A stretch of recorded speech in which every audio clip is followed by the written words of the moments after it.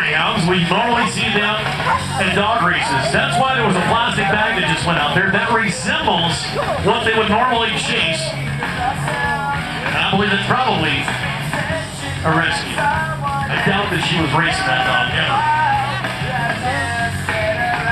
He was a racer. All right, Diane Salt, Cochiti. This could be a big one, folks.